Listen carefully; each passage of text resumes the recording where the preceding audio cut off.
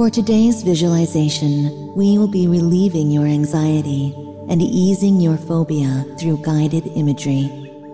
As always, the first step is to find a nice and quiet place. Make yourself as comfortable as possible while sitting. Close your eyes and relax.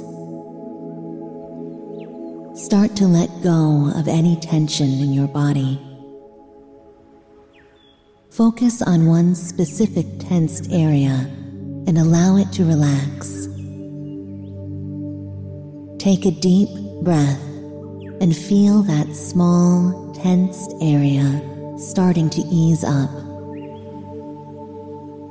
Focus on this area as you breathe. Breathe in calmness and then breathe out the tension.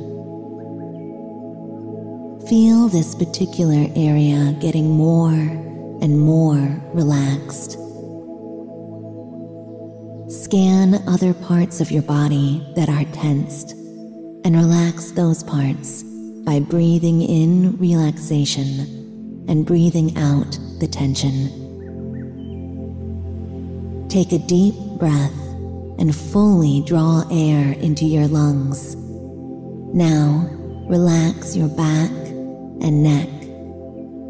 With each breath, feel the tension ebbing away from your spine. Breathe in and feel your neck and back muscles loosening up. Breathe out and release your tension into the air.